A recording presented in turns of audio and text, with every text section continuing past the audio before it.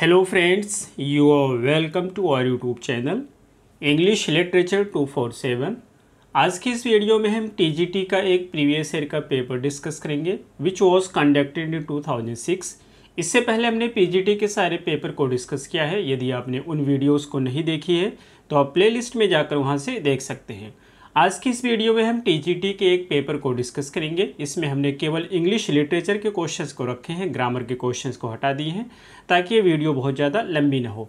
तो चलिए हम शुरू करते हैं अपनी आज की इस वीडियो को। हमारा फ़र्स्ट क्वेश्चन है informal essay is also known as informal essay को और, और हम किस नाम से जानते हैं? फ़र्स्ट है फनी एसे सेकंड है स्कॉलरली एसे थर्ड है फैमिलियर एसे फोर्थ है impersonal essay correct answer is C familiar essay या पर्सनल एसे के नाम से भी जानते हैं इनफॉर्मल एसे को। Second question Wordsworth poems mostly deal with William Wordsworth की जो पोएम्स होती हैं, वो अधिकतर किस चीज़ से डील करती हैं? फ़र्स्ट है पॉलिटिक्स सेकंड है सिटी लाइफ थर्ड है humble and rustic life fourth है revolution correct answer is third humble and rustic life next question is third a violet by a mossy stone half hidden from the eye is a quote from ये कहना चाहते हैं, ये जो line है, ये किस पोएम से ली गई है? फ़र्स्ट है वर्ड टू ड्यूटी सेकंड है लूसी पोएम्स थर्ड है द ग्रीन लिनेट फोर्थ है solitary reaper correct answer is B ये लूसी पोएम से ली गई है लाइन और लूसी पोएम्स लिखी गई है विलियम वर्ड्सवर्थ के द्वारा. नेक्स्ट क्वेश्चन है fourth Wordsworth before his death resided at आपको बता है, विलियम वर्सवर्थ अपनी मृत्यु से पहले कहाँ पर रहते थे? फ़र्स्ट है रिडाल माउंट, सेकंड है ग्रासमियर पार्सोनिज थर्ड है डव कॉटेज, फोर्थ है Allan Bank. Correct answer is first, Rydal Mount. Next question is fifth. Alliteration may be defined as alliteration किसे कहते हैं? फ़र्स्ट है अ लिटरेरी जोनरा सेकंड है repeated consonant in a sentence third है a repetition of a speech sound in a sequence of words fourth है literary aptitude correct answer is B repeated consonant sound होती हैं. यानी consonant sound होती हैं, जो repeat होती हैं, उसी को हम बोलते हैं alliteration next question is seven six William Wordsworth Tintern Abbey is William Wordsworth की एक बहुत ही फ़ेमस पोएम है टिंटन अबे ये किस प्रकार की पोएम है आपको बताना है? फ़र्स्ट है अ ड्रामेटिक मोनोलॉग सेकंड है अ ड्रामेटिक लिरिक थर्ड है अ ड्रामेटिक एपिक फोर्थ है none of the above correct answer is first a dramatic monologue next question is seventh epic आपको बताना है कि एपिक क्या होता है? फ़र्स्ट है a story of a battle second है a long narrative poem on a serious subject third है a ballad related a serious story fourth है a dramatic monologue correct answer is b, a long narrative poem on a serious subject. Next question is earth. In 1805 Wordsworth which poem was written 1805 में William Wordsworth की कौन सी poem complete हुई थी? First है टिल्टन Abbey second है the prelude third है Lucy poems fourth है the solitary reaper correct answer is second ये जो द प्रिलूड है, इसको कंप्लीट किया गया था 1805 में। और इससे पब्लिश किया गया था इनके वाइफ के द्वारा 1850 में। इसको वर्षवत ने लिखा था पोएम्स टू कॉलरिज के नाम से। इनकी मृत्यु के बाद इनके वाइफ के द्वारा इसे पब्लिश कराया गया था। Next question is ninth the prelude by Wordsworth was part of a vast work which was to be called ये कहना चाहते हैं, जो प्रिलूड है, ये वर्सवत के द्वारा लिखा गया है और ये एक बहुत ही वास्ट वर्क का पार्ट है। किस वर्क का पार्ट है, आपको बताना है। फ़र्स्ट है द एक्सकर्शन, सेकंड है द रिक्लूस, थर्ड है हैरो रिविस्टेड, फोर्थ है Peter Bell. Correct answer is B, the recluse. Next question is tenth, act is. आपको बताना है कि एक्ट क्या होता है?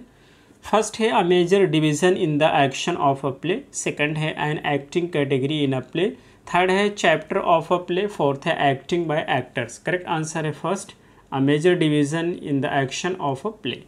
Next question is eleventh the lower caste was represented in Galsworthy's Galsworthy की किस प्ले में लोअर कास्ट को रिप्रेजेंट किया गया है?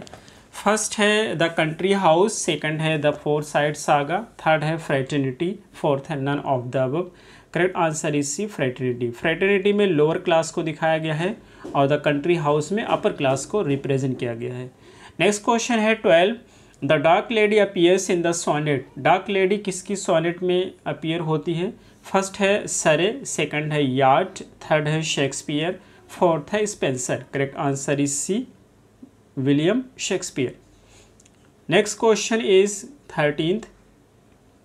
Which is not Shakespeare's drama कौन सा वर्क है जो विलियम शेक्सपियर के द्वारा नहीं लिखा गया है? फ़र्स्ट है टाइटस एंड्रोनिकस, सेकंड है एडवर्ड द सेकंड, थर्ड है हैमलेट, फोर्थ है Richard second. Correct answer B है। एडवर्ड सेकंड इसको लिखा गया है क्रिस्टोफर मार्लो के द्वारा और ये शेक्सपियर के द्वारा नहीं लिखा गया है। Next question is fourteen. Galsworthy began his literary career as. Galsworthy ने अपना लिटरेरी करियर किस रूप में शुरू किया था?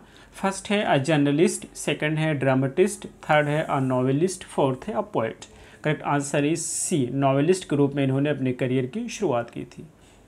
Next question is fifteenth novella is a word from novella है जो कि नॉवेल का शॉर्ट फॉर्म होता है। ये किस लैंग्वेज से लिया गया है? फ़र्स्ट है इंडिया सेकंड है फ्रांस थर्ड है इटली फोर्थ है England correct answer is C इसको इटली से लिया गया है।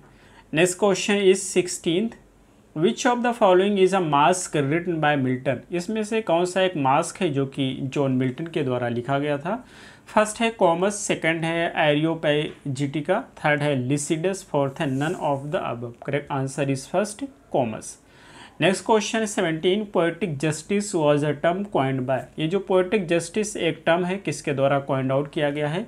फ़र्स्ट है सैमुअल जॉनसन सेकंड है जोफ्री लीच थर्ड है जॉन ड्राइडन फोर्थ है Thomas Rymer correct answer is D Thomas Rymer next question is eighteenth Shakespeare was born in Shakespeare कब पैदा हुए थे? फ़र्स्ट है फिफ्टीन सेवेंटी फोर सेकेंड है fifteen sixty three third है fifteen sixty four fourth है fifteen eighty four correct answer is C fifteen sixty four में इनका जन्म हुआ था और सिक्सटीन सिक्सटीन में इनकी मृत्यु हुई थी. Next question is nineteenth in which poem does the following statement appear ये स्टेटमेंट किस पोएम का है?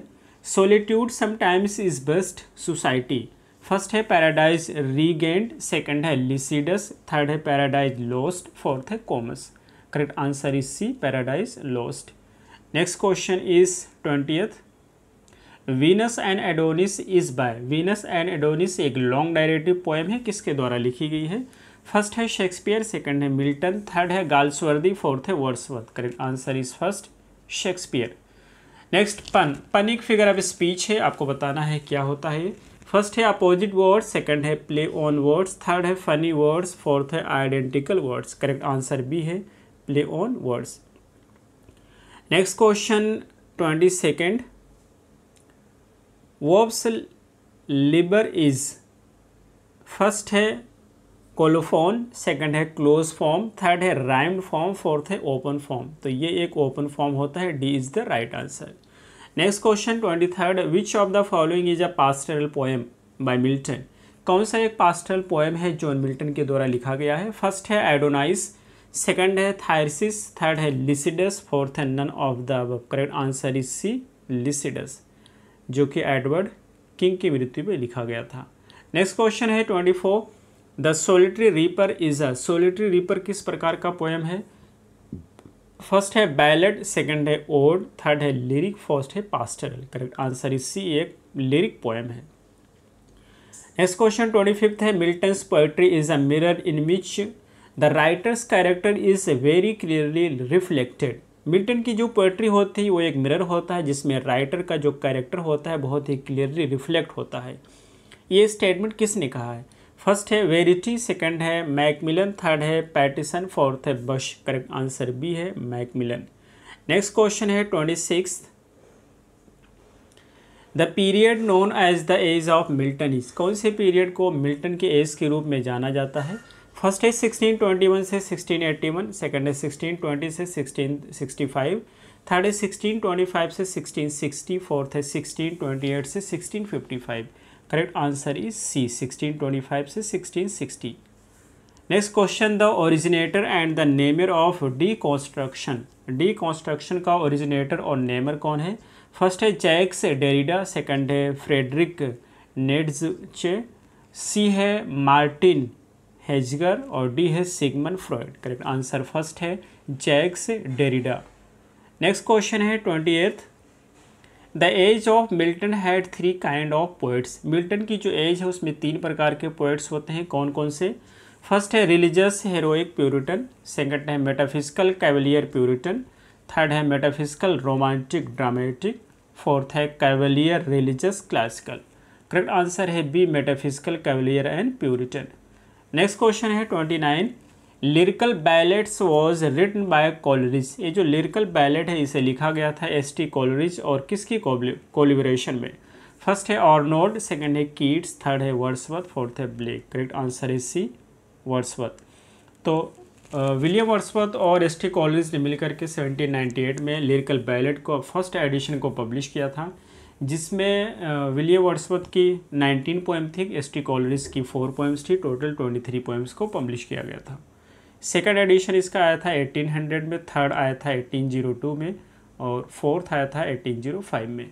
नेक्स्ट क्वेश्चन थर्टी है Paradise Lost was written by Milton in the phase of life Paradise Lost जो कि जॉन मिल्टन के द्वारा लिखा गया था, किस फ़ेज़ में उनकी लाइफ के? फ़र्स्ट है मिडल सेकंड है लास्ट थर्ड है स्टूडेंट फोर्थ है फ़र्स्ट करेक्ट आंसर है बी अपने लास्ट फ़ेज़ में इन्होंने लिखा था लाइफ के। नेक्स्ट क्वेश्चन हमारा है thirty first Wordsworth composed some of his finest poems during the year Wordsworth ने कुछ अच्छी पोएम्स लिखा था किस ईयर में? फ़र्स्ट है 1798 से 99 सेकंड है 1778 से 79 थर्ड है 1788 से 89 फोर्थ है 1768 से 69 करेक्ट आंसर है फ़र्स्ट 1798 से 99 नेक्स्ट क्वेश्चन है the regular ode is a close imitation of जो रेगुलर ओड होता है वो किस चीज़ का इमिटेशन होता है? फ़र्स्ट है पेट्रार्क सेकंड है शेले, थर्ड है टेड, फोर्थ है पिंडार। करेक्ट आंसर है डी, पिंडार।